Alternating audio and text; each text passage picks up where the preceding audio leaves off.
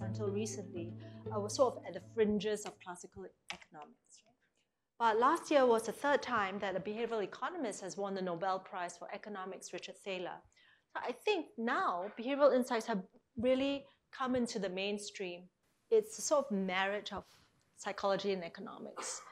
Uh, is to show you the limits to classical economists the behavioral approach thinks about this differently. Rather than kind of assuming these assumptions that, that may or may not be realistic, it recognizes the fact that these assumptions are very, you know, have, have strong limits. So when we think about behavioral insights, a lot of times we think uh, that it's human beings behaving in non-rational ways, ways that we don't expect people to behave.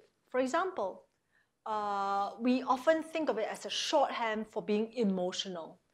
We, we are emotional beings, but not the way that you think it is. The two ways of thinking are system one and system two. So this is system one. It's something that we kind of know and we understand and we, the narrative is clear. There's no, mm, there's like, we don't sit back and say, hmm, I wonder what that, why he did that, right? System two. Needs more work than the next. And it's not that you can't do it, it's just the fact that you need effort. How we think people decide and how they really decide are quite different. We think people are like Dr. Spock, right? They're like completely rational, and if you don't decide, we say like it's irrational, right? People who don't read, who don't understand, who don't do the math, they're irrational, but they're not. They're just like us. We can't be bothered a lot of the times, even uncontroversial problems require a lot of work. And um, that's why even water conservation requires us to think how we're going to do it. So this is really an interesting experiment I did. We all know we should save water, but we use more than we should. So here's my experiment. If you pay people to save water, does it make them save more water than if you told them it is the right thing to do.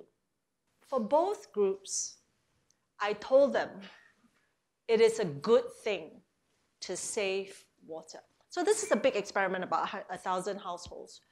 So for these both groups, I told them it is a good thing to save. It is a good. So both groups got the same kind of moral incentive. One group got money on top of. So the experiment asks this question. If people knew something was a good thing to do, if you paid them, does it make a difference? So, and it's a real neat experiment. So I paid them $10, $20, and a few hundred dollars. Um, and, and then I gave them these posters.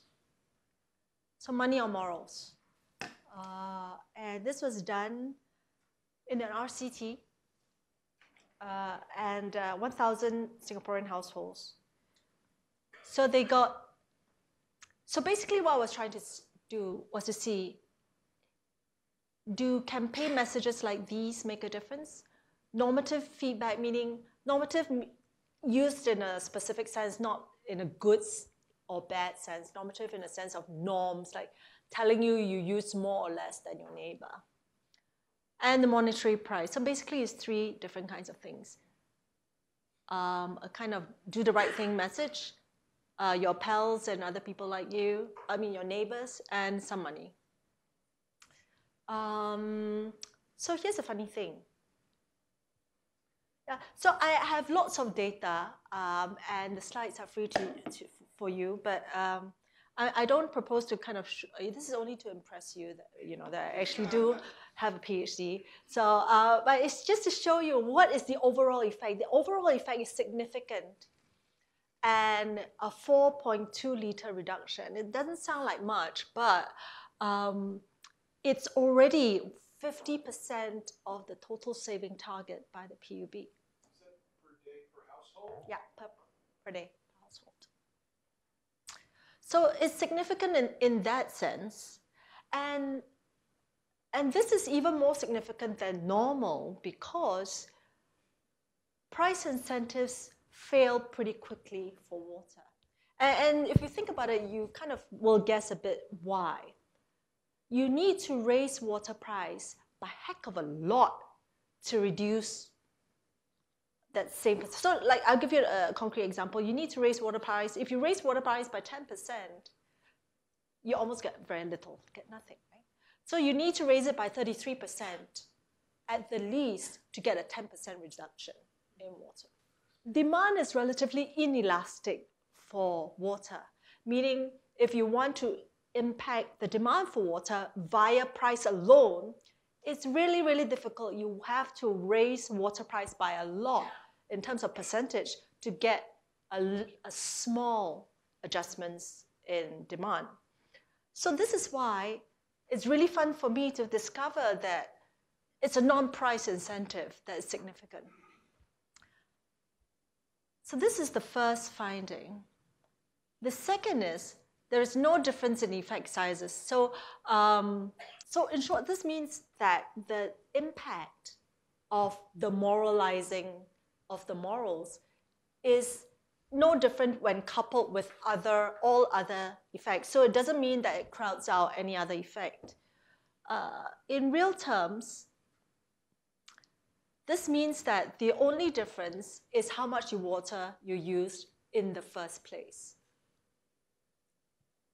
And not surprisingly, so this one is not surprising, that the people who were most susceptible to the normative effects were the higher, the higher users. People who used more water tended to save more or be more, um, uh, what's the word, sensitive to these uh, normative effects.